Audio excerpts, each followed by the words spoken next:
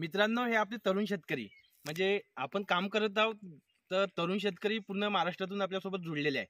तर कसं आहे कमी खर्चामध्ये जर चांगलं उत्पादन निघालं तर त्यांचा आत्मविश्वास वाढते. दादा आपलं नाव सांगा.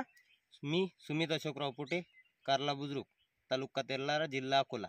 तर सुमित भाऊ आपण सुरुवातीला एक फवारणी केली होती. हो. तर त्याच्यामध्ये मी सांगितलं होतं झाडाचे तोड लांबले पाहिजे. हो. तर तसा रिझल्ट दिसला ना तुम्हाला? हो हो रिझल्ट चांगले आहेत.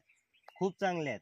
चांगलेच नाही. खूप म्हणजे दरवर्षी या शेतामध्ये काय होतं की थोडं पाण्याची कमतरता. तर यावर्षी पाऊस चांगला झाला आणि फवारणीचं नियोजन मी त्यांना दोन फवारणीचं नियोजन दिलं. मी सांगितलेल्या सर्व गोष्टी त्यांनी वापरल्या आणि तंतोतंत फवारणी केली. आणि मित्रांनो या शेतामध्ये पाणी देणं थोडं अवघड होतं तुम्ही बघू शकता. तूर पूर्ण भिजली हं? आणि अशा तुरीमध्ये रात्री त्यांनी पाणी दिलं.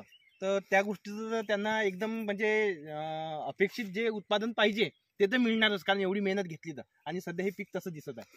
एकदमच छान. सुमित भाऊ तूर पाहून आनंदी झाले तुम्ही? खूप खूप. आणि आजपर्यंत इतकी तूर कधीच जमली नव्हती. तुमच्या मार्गदर्शनात खूप चांगली वाटत आहे. रिझल्ट खूप चांगले आले. बिलकुल तूर. तोर जे वाढणार म्हणजे लोकली असे राहायचे आज ते खूप वाढलेले आहेत. बिलकुल बिलकुल. आणि म्हणजे दोन दोन फुटाची तोर. झालेली आहे. आणि ह्या पूर्ण शेंगा लागतील सुमित भाऊ? ठीक आहे